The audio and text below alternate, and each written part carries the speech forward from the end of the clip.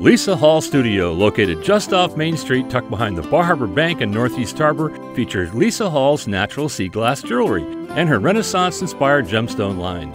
Lisa Hall also showcases the work of her apprentices. Lisa Hall Studio offers gift items including candles, tableware, pillows, scarves, Liberty of London tops, Santa Maria Novella luxury scents and soaps, Julie Havener sale sailbags, and the artwork of local artists.